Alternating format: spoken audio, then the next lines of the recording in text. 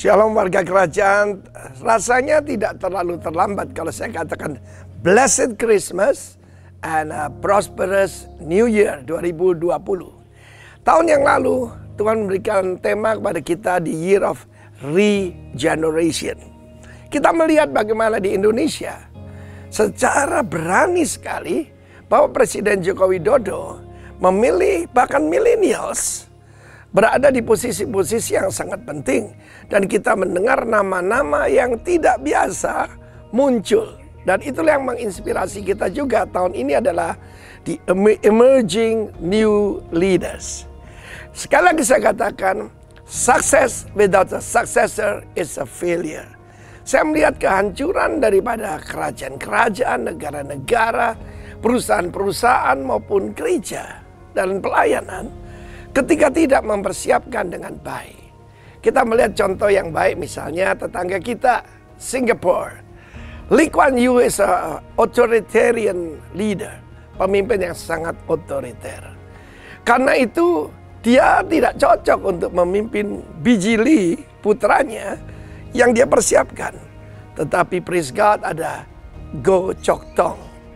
Tidak banyak orang mau jadi wakil, semua orang tidak suka nomor dua, semua orang mau jadi nomor satu. Dalam Olimpiade di Sydney, dikatakan tentang pemenang medali perak. Mereka bukan jadi juara. You are not winning the silver, you are losing the gold. Tetapi di dalam pelayanan memerlukan orang rendah hati, memerlukan orang yang mau jadi mentor. Mentor itu adalah sesuatu yang paling kita butuhkan hari-hari ini saya menempatkan diri saya sejak awal pelayanan. Saya nggak apa-apa jadi ban serep, menjadi wakil. Yang penting Tuhan disenangkan. Dan karena itu saudaraku, saya melihat bagaimana pesan daripada firman Tuhan adalah Tuhan yang memilih yaitu uh, Joshua. Dia berkata, your days are approaching. Kamu sudah mendekati akhir hidupmu. Dan jangan lupa, Musa nggak sakit-sakitan, dia nggak diabetes, dia tekanan darah tinggi. Bahkan matanya tidak berkurang kekuatannya ketika dia dipanggil Tuhan seusia 120 tahun. Kita harapkan 120 tahun asal sehat bukan? Tapi Tuhan appoint yaitu Joshua. Permulaan Hosea itu adalah seorang um, asisten pribadi daripada Musa. Cari orang-orang dekat. Saya bicara pada para pemimpin, para senior. Our days are approaching. Usia saya tahun 2020 69 tahun. Almost 70. Dan kalau saya tidak mempersiapkan 35 tahun yang lalu, saya seorang yang paling bodoh di dunia.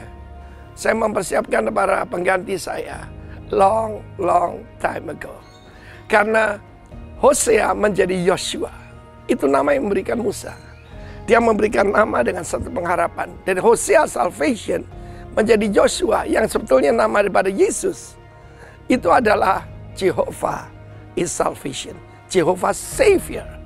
Saudara yang kasih Tuhan, firman Allah mengatakan Musa meletakkan tangan di atasnya. Saya catat di sini di dalam ulangan pasal 34 ayat 9. Joshua bin Nun, dia keturunan suku Efraim tidak ada rasialisme di dalam pelayanan. Jangan mencari suku sendiri, kelompok sendiri, keluarga sendiri, apalagi dinasti. Dalam Tuhan gak ada dinasti. Tuhan meletakkan, Musa meletakkan tangan atas Joshua. And it's full with the spirit of wisdom. Kiranya temukan Joshua Anda, para pemimpin. God bless you. Amin.